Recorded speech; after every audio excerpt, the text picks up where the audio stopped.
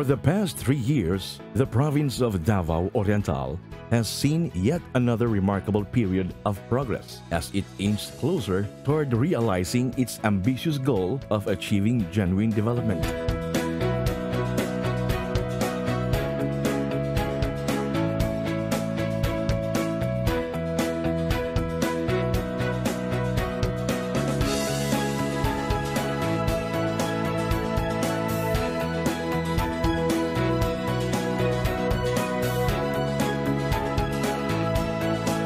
Looking back, the province has gone through many significant improvements as the provincial government continues to advance its strategic priorities, particularly on infrastructure development, creation of investments, and fostering true and lasting peace. All this collectively created tangible results and concrete impacts to the lives of the people of Davao Oriental.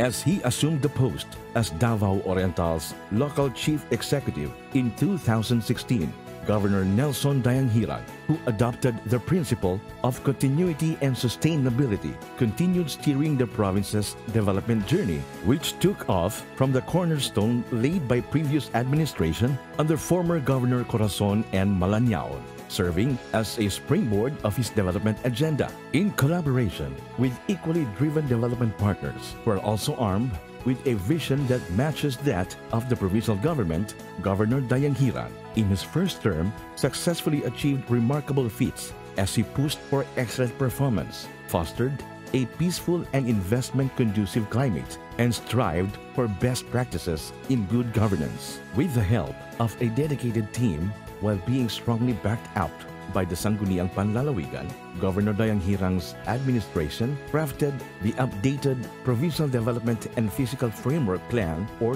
PDPFP 2017-2022, aligned with the trust and target set in the Sustainable Development Goals, Philippine Development Plan, and the Davao Regional Development Plan. Moreover, he crafted a governance framework which adopts the ancestral domain strategy for the indigenous peoples community and the Jama'ah strategy for the Muslim community so that these sectors will have wider access to opportunities for sustainable development programs and empowered for a meaningful participation in the government. In this pursuit, Governor Dayanghirang adopted in all his development programs his flagship strategy called NLD or Nagkakaisang Lingkod Bayan ng Davao Oriental which banks on unity and convergence among all key players. Through the said strategy, Governor Dayanghirang was able to organize and propel his people into action to mobilize resources and government interventions in order to shape communities that are safer, more resilient, and more vibrant. This concept of convergence, inclusiveness, and civilian leadership, which the NLD strategy espoused, became a huge part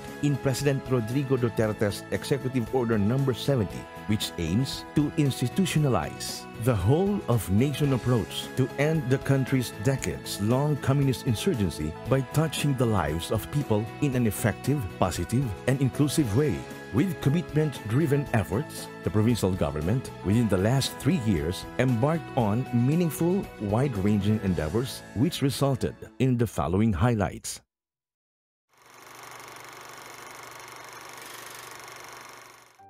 Leveraging on the strong partnership forged with all peace and development partners, the provincial government of Davao Oriental has developed innovative programs and strategic initiatives in the pursuit of building peaceful and conflict-resilient communities. Through the governor's flagship program, Nagkakaisang Lingkod Bayan ng Davao Oriental Barangay Outreach Caravan or NLD-BOC, which puts premium on social services. The government has been able to make its presence and genuine service felt by the ordinary people, particularly in conflict-affected villages and geographically isolated and disadvantaged areas, which are far from vital government and private resources. Through the program, the government has been able to touch the people's hearts and minds through the provision of vital services as basic as medical and eye checkup, dental services, minor surgery, health and life insurance registration, processing of legal documents, livelihood seminars, and employment services, among many others, as well as the distribution of free goods like medicines, planting materials, farming tools, school supplies, and food packs. Banking on convergence and partnership, the governor's program successfully converged 74 peace and development partners from the provincial departments, private groups, civil society organizations, and national government agencies. Since its historic launching in 2016, the program has already reached out to 116 out of 183 barangays, serving close to 400,000 cooperators were mostly from the ancestral domains and Jama'a communities. Through his Brainchild program, which redefined public service and made significant impacts in the government's peace efforts, Governor Dayanghirang has been hailed as one of the region's presidential Lingkod Bayan awardees in 2018 for its sustainability the provincial government has crafted long-term plans to ensure that the program will continue to serve the marginalized and underserved constituents in the years to come. Moreover, as part of the sustainability mechanism of the caravan, the provincial government embraced the Executive Order Number 70, the President's new landmark national policy for peace and development, inspired by the NLD strategy. Believing on its cause to address the root causes of insurgency, Davao Oriental became the first province in the country to successfully pilot the new directive through an immersion activity held in the hinterland village of Barangay Taocanga in the municipality of Manay, which served as a pilot area, bringing along all key players and stakeholders at the grassroots to communicate with the locals to assess and diagnose the community's needs, the provincial government promises to implement the interventions necessary to bridge the critical gaps identified. Thus, would boost the community's trust and confidence to the government. The provincial government-run Happy Home, which is a beehive of communist rebels wishing to go back into the fold of the law, continues to produce individuals or graduates who had once advocated for the long-running armed struggle against the government but are now the government's strong partners for its peace and development efforts. Since it first operated through the initiative of the previous administration, a total of 278 former rebels have benefited on the program's comprehensive rehabilitation services, financial assistance, and scores of other benefits. To date, more improvements have been introduced through the provision of new services and the construction of new facilities. These include the newly inaugurated Balay Duaan, designed to be a learning center for the children of former rebels being a shining example and a country's model in the implementation of the government's enhanced comprehensive local integration program that made a huge impact on the country's collective efforts to fight insurgency and in fostering peace, Davao Oriental was conferred the Kapayapaan Award by the Armed Forces of the Philippines in 2018. Amidst all these peace and development programs, coupled with the focused military operations that dismantled red and white areas and eliminated strongholds of the new People's Army, the province has been seeing a massive turnout of rebels expressing their wish to surrender to the government, as well as the voluntary surrender of members of underground mass organizations, thus winding down the long-running insurgency in the province. Meanwhile, aside from securing the province from insurgency threats, the provincial government is also committed to fighting criminalities through concrete security policies alongside police efforts. Crime reduction in the province has been significantly reduced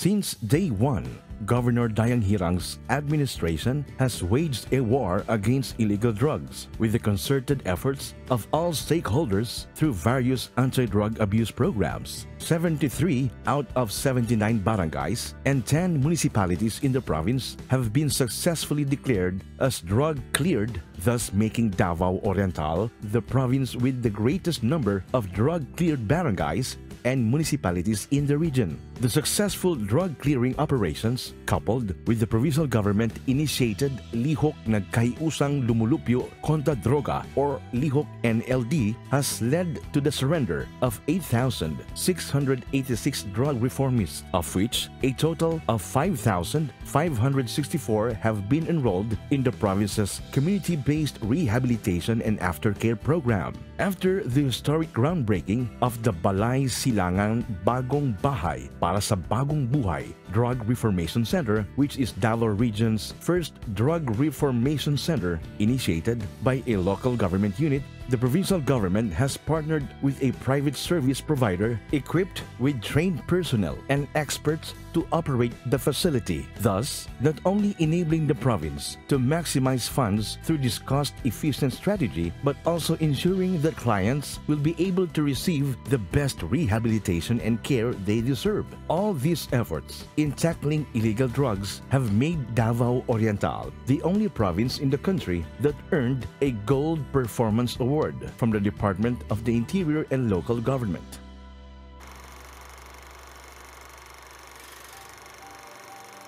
Promoting safely and the culture of preparedness, the provincial government continues to coordinate and integrate all activities necessary to foster disaster resilient communities by crafting the local disaster risk reduction management plan, local climate change action plan, and disaster contingency plan. As strategic initiatives, the provincial government has been able to improve emergency management through activation of the incident command system in times of disaster to properly coordinate response activities with partner agencies, promptly respond to disasters and hazards, especially during times of severe weather situations, organize a monitoring action team, medical advance response team, and volunteers forged a partnership with the Davao Oriental State University for the conduct of researches related to risk reduction and climate change, as well as the implementation of projects like installation of weather stations and community early warning system educate communities through the conduct of several capacity training, advocacy campaign, mapping of fault lines, and other geohazards. Initiate the construction of a command center to improve monitoring and response to disasters, and fostered disaster preparedness in the barangay level by constructing multi-purpose buildings that also serve as evacuation centers. In all these continuous efforts on peace and order and public safety, the provincial government has been able to push through with its other development agenda, mainly on its thrust for industrialization of the agriculture and ecotourism, touted to address poverty, create a vibrant economy, and enhance the community's quality of life. Towards these ends, modest accomplishments have been achieved.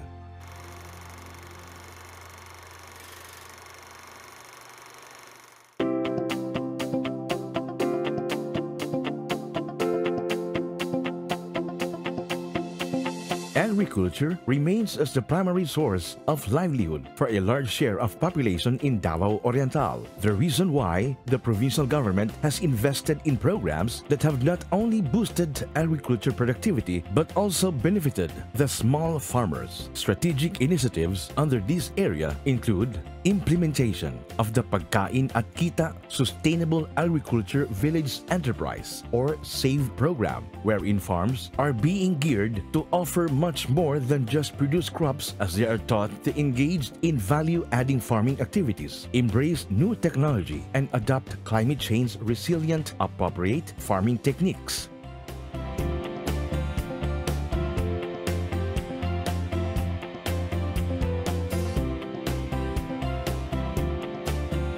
Boosted the agri-industry through the expansion of areas planted to various high-value crops.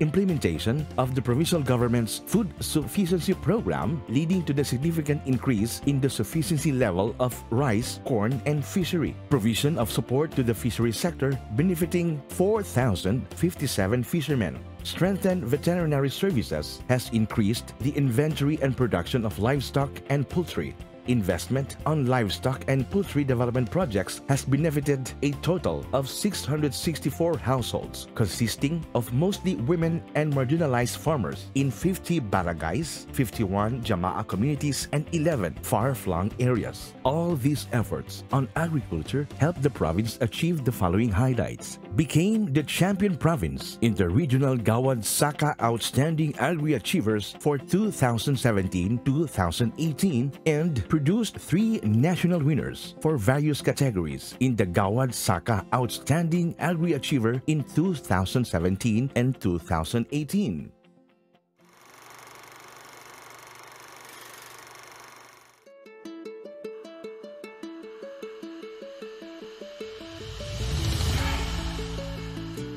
The provincial government continues its focus in making Davao Oriental a premier destination for adventure, culture, and ecotourism Declared a tourism development area by the national government, tourism business in the province is now fast flourishing as the construction of new hotels and resorts are sprouting. Moreover, in a bid to invite more private tourism investors to boost tourism in the province, the provincial government continues to complement and improve Davao Oriental's breathtaking destinations historical landmarks, unique culture, and unprecedented investments on world-class tourism sites and parks as it bankrolled the development of the province's top tourism sites. Aside from investing in the improvement of tourism sites, Governor Dayanghirang has been helping steer local events and festivals, drawing local and foreign tourists. For the first quarter of 2019 alone, tourist arrival in Davao Oriental has already reached more than 1 million compared to last year's 801,479, an increase of 36%. The province has 259 tourist destinations and 1,490 tourism-related establishments,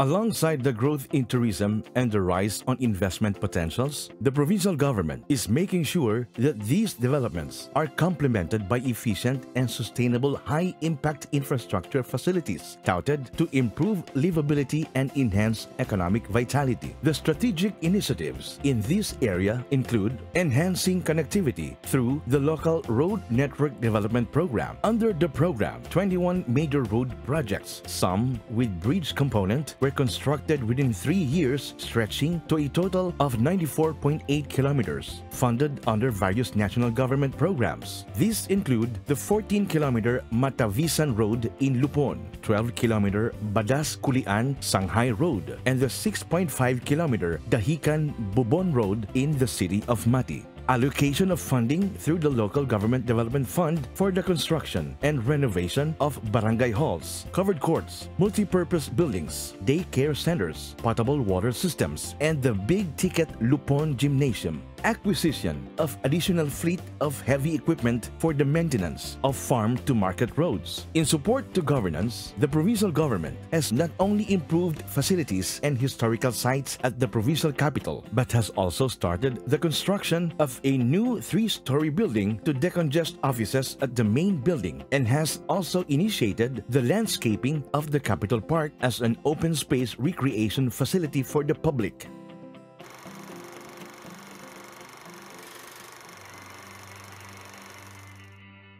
With the passage of the universal healthcare, the province of Davao Oriental commits to join the national government in making healthcare services even more accessible to all its constituents through the Health Facility Enhancement Program of the DOH and funding from the provincial government. Improvements have been made at the five provincial government-run hospitals in Cateel, Manay, Governor Generoso, and Lupon, as well as the expansion of the Davao Oriental Provincial Medical Center Center in the city of Mati. In DOPH, Governor Generoso, Governor Dayanghirang has inaugurated new facilities. Series of building expansions and structural improvements were also implemented at DOPH Lupon, Manay, and Cateel. Many improvements have been implemented at the Davao Oriental Provincial Medical Center, which include the new state-of-the-art diagnostic equipment and the construction of a new three-story building which now houses the private rooms. 12 of which are now open to the public, thus decongesting the main hospital building. DOPMC has also forged partnership with visiting consultants, enabling DOPMC to cater to surgeries in these areas.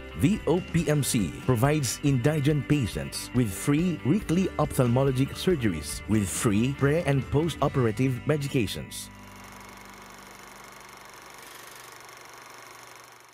In the effort to provide safe and affordable housing for Davao Oriental residents, the provincial government has partnered with the Social Housing Finance Corporation for a massive housing project. To date, more than 2,000 informal settlers have initially availed out of the 35,000 target beneficiaries. Processing is ongoing for the acquisition of the project sites, covering a total of 74.7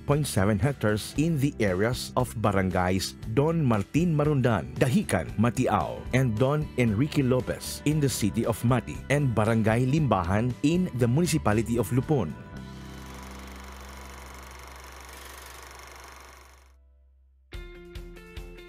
Social welfare services remain a priority of the provincial government, especially in catering to the province's impoverished sector who are coming from remote villages. From 2016 to date, more than 50,000 clients have already availed of the provincial government's medical assistance and financial assistance, covering burial, transportation, and hospitalization, amounting to more than 40 million pesos, while most clients are attended to at the provincial capital, indigent clients from far barangays can also avail of these services through the governor's satellite offices in each municipality. Moreover, the Reception Study and Diagnostic Center RSDC continues to provide a safe haven for abused women and children. Special programs for persons with disability and senior citizens also continue to create impacts and improve the quality of the lives of these sectors. Also, to cater to the special needs of persons with disabilities, Governor Dayanghirang initiated the Persons with Disabilities Affairs Office, which is set to introduce programs and projects for the benefit of this sector.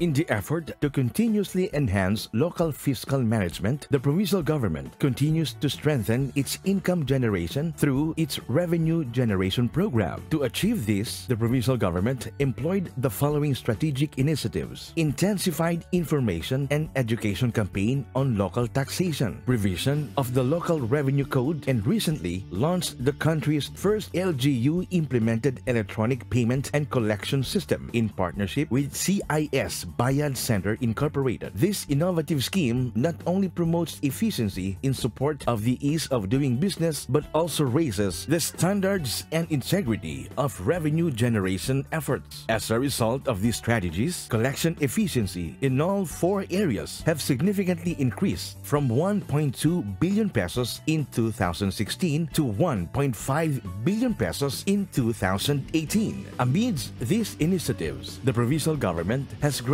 tax amnesty for delinquent taxpayers, particularly on real property tax, to provide them ample time to settle their obligations. This strategy is anticipated to boost RPT collection performance of the province for 2019.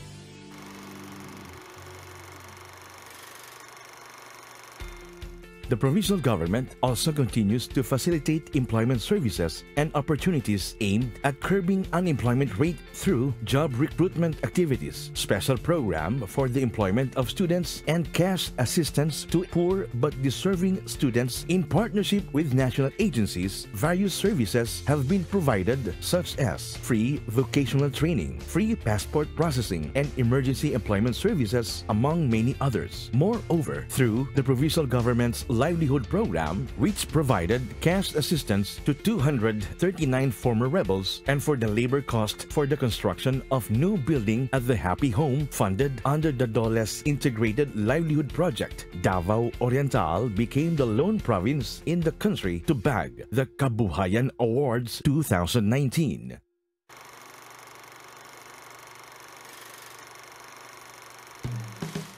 Intending to provide professional, reliable, and competent workforce, Governor Dayanghirang has appointed and promoted a total of 92 competent and deserving employees in 2018 and 2019. Determined to end the business-as-usual kind of service, Governor Dayanghirang is intent on gearing up the provincial government departments and offices to become more equipped, adaptive, and responsive to the demands required to bring the province to its envisioned industrialization through the Institutional Strengthening Committee tasked to re-engineer the province's respective offices and departments. Amidst all these developments, the provincial government also takes seriously its duty in promoting stewardship of the province's natural resources. The provincial government has implemented programs to ensure the sustainability of the environment and biodiversity through enabling LGUs to come up with a forest land use plan which serves as a guide in the development of the programs concerning environment utilization, protection, and conservation enrolled at least 500 families to the governor's flagship program on the environment dubbed as Nagkakaisang Lingkod Bayan ng Davao Oriental Forest Landscape Restoration for Sustainable Development. Aligned with the National Greening Program, the program ensures inclusive and sustainable development of the province's forest resources and local communities through program components such as forestry-based livelihood, Trees for Peace that provides alternative source of income on conflict-affected areas, and regeneration of watersheds. In the effort to protect the rich biodiversity, Governor Dayanghirang, together with local officials, strongly opposed the proposed mining reservation in huge tracts of timberlands and agriculture lands near the Mount Hamiguitan in the town of Governor Generoso. In response to the Ecological Solid Waste Management Act of 2000, Governor Dayanghirang led the establishment of Davao Oriental's first provincial government-funded sanitary landfill located in the municipality of Manay.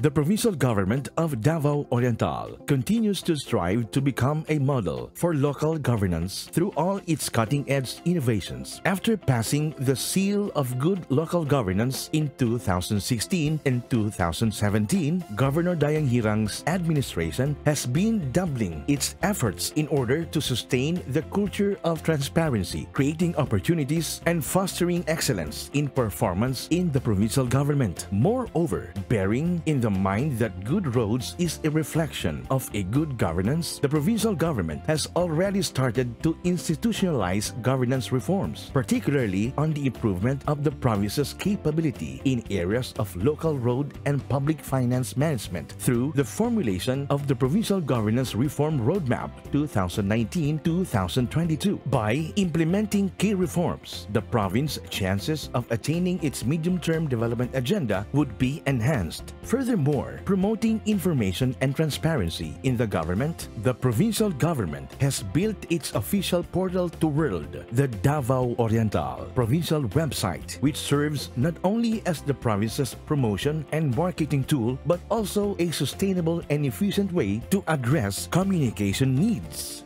As the provincial government continues to make efforts on steering Davao Oriental through the road of prosperity and create livable communities, Governor Dayanghirang is now leading the province towards industrialization, particularly on the sectors of agriculture, tourism, and investments, anticipated to create more jobs and a vibrant economy. Efforts towards this goal include the following historic groundbreaking ceremony of the highly ambitious big ticket $27 billion project, Davao Oriental Industrial Park in the town of Banay-Banay, promising to create 10,000 jobs. Groundworks such as the acquisition of land and construction of access roads is currently ongoing. Signing of a memorandum of understanding with Filipino-Chinese investors who plans to establish fruit plantations, fruit processing plant, and engage on the sand and gravel business, inviting investors to venture on fishery and aquaculture, particularly bangus and vannamei production. To address the present challenges in the coconut industry, the province is now exploring possibilities of investing and putting up its own facilities and processing plant to produce value-added products from coconut, thus securing income for coconut farmers amidst the plummeting price of copra in the world market.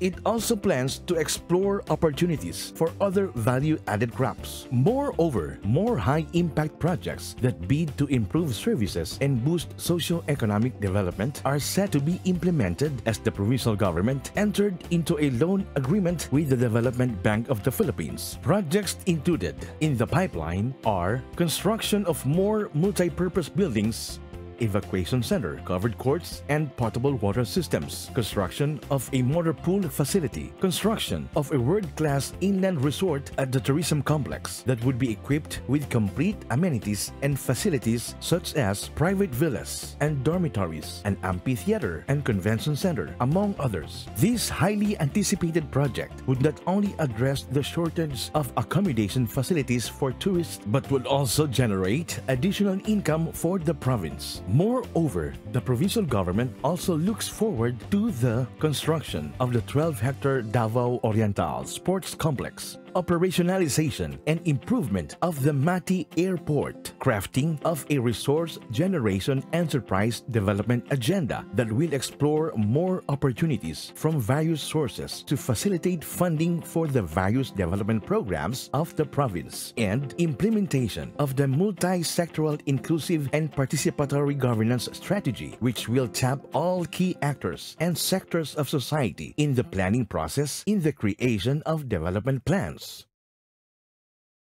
Over the course of just three years, much have already been achieved, and with the same steadfast commitment and enthusiasm, the provincial government, under the leadership of Governor Nelson Dayanghirang, vows to relentlessly pursue its development agenda and work on what needs to be done in order to achieve its goals for the next three years and beyond, leveraging on enhanced cooperation and the flourishing partnerships it has built with development partners over the years. The provincial government will continue exploring strategies and investing in more meaningful development initiatives in order to achieve its vision of shaping communities with empowered citizens, unlocking opportunities inclusive of all sectors of society and ensuring a bright future for the people of Davao Oriental.